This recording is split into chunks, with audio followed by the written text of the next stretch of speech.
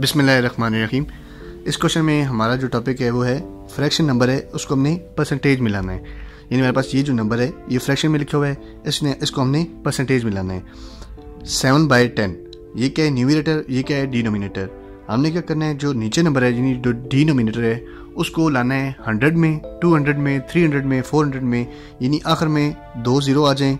पहले जो भी नंबर हो one two three four five six seven eight हो। तो सबसे पहले हम देखेंगे कि ये क्या इसका नंबर जो डिनोमिनेटर है, ये टेन के साथ मल्टीप्लाई हो सकता है हंड्रेड आ सकता है या नहीं? अगर हंड्रेड नहीं आता, फिर टू हंड्रेड देखेंगे। टू हंड्रेड नहीं आ सकता, फिर देखेंगे इसको किसके साथ मल्टीप्लाई करें तो थ्री हंड्रेड है। अब चूँकि ये नंबर हंड्रेड में आ सकता है, क्योंकि टेन टेन टाइम हंड्रेड होता है तो इस नंबर को न्यूमिनेटर को भी और डिनोमिनेटर दोनों को टेन के साथ मल्टीप्लाई करेंगे।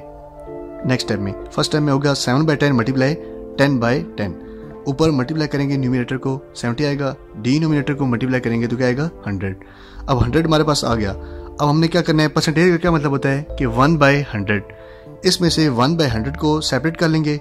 सेवेंटी आ जाएगा लेदा।